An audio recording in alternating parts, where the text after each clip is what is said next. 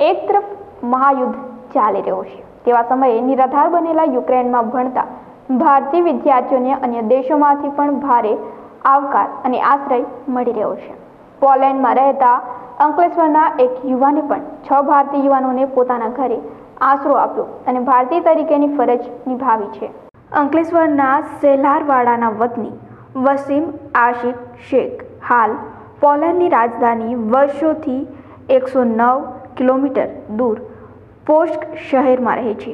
તેઓ કબાબ યુ અહેમદા નામની હોટલ ચલાવે છે. રશિયા અને યુક્રેન વચ્ચેના ભીષણ યુદ્ધમાં યુક્રેનમાં ભણતા ભારતીય વિદ્યાર્થીઓ નિરાધાર હાલતમાં મુકાઈ ગયા છે અને બોર્ડર ક્રોસ કરીને હંગેરી, સ્લોવેકિયા જેવા દેશોમાં આશ્રય લઈ રહ્યા છે. આવા કપરા સમયમાં ભારતીયો પણ ભારતીયોની મદદમાં પાછું વળીને જોતા નથી.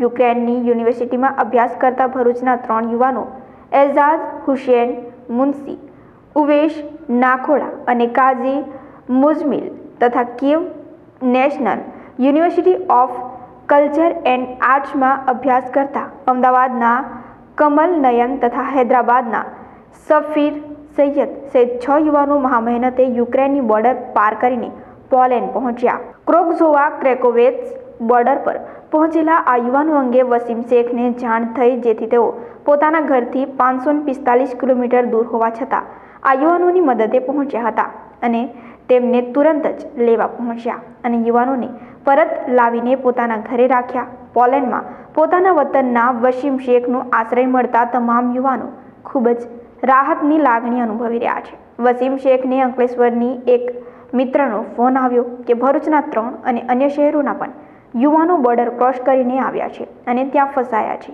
જેથી તેઓ શહેરથી પાંચસો ને પિસ્તાલીસ કિલોમીટર દૂર તેમને લેવા પહોંચ્યા અને એક ખાલી ઘર હતું તેમાં પરત પોસ્ટ લાવીને રાખ્યા અને રહેવા અને જમવાની સગવડ પણ કરી આપી. ઉપરાંત ભારત તેમના તમામ માતા પિતા સાથે વાત પણ કરાવી અને તેમને સાંત્વના પણ પાઠવી. એક ભારતીય તરીકે આટલું કર્યાનો તેમને ગર્વ છે. હજુ પણ કોઈક આવી રીતે ફસાયું હશે તો તરત તેના માટે દોડી જઈશ તેમ પણ જણાવ્યું હતું.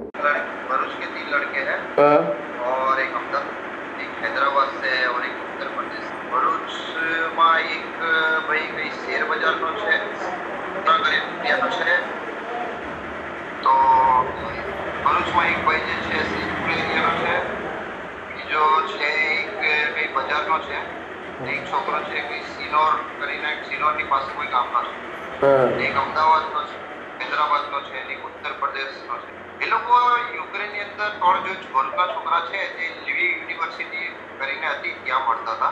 સમગ્ર વિશ્વ હાલ રશિયા યુક્રેન જંગમાં પોતપોતાના દેશના વતનીઓને પરત લાવવામાં રસ નથી બતાવતા. ત્યારે ભારત સરકારની સાથે યુક્રેનની આસપાસના દેશોમાં રહેતા મૂળ ભારતીય લોકો તરફથી ભારતના વિદ્યાર્થીઓને જે મદદ અને સહાય મળી રહી છે તે ખરેખર પ્રશંસનીય છે અને માનવીય સંવેદનાનું ઉત્તમ ઉદાહરણ પણ છે.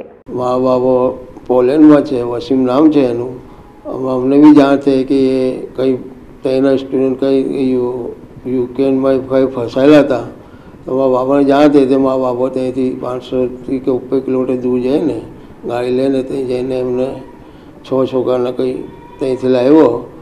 કંઈ ત્રણ ભરૂચના છે, એક હૈદરાબાદનો છે એક અમદાવાદનો છે, એવી રીતે પાંચ છ છોકરાઓ છે, એમને લઈને આવ્યો તો અમારા બાબા વસીમ પોલેન્ડમાં છે ને ત્યાં એમના ઘરમાં જમવાનું બી, ખાવા પીવાનું બધું એ જ કરે છે. ને હજુ બી કોઈ એવો કોઈ એવો ત્યાં ફસાયેલો હોય ત્યાંથી એને કોન્ટેક કરી શકે છે એમાં બાબાને, એ ત્યાંથી એને લાવીને એ, એને પોલેન્ડની બોર્ડર પરથી એ લાવી શકે છે. Dharmesh Patel, D news, Ankleshwar.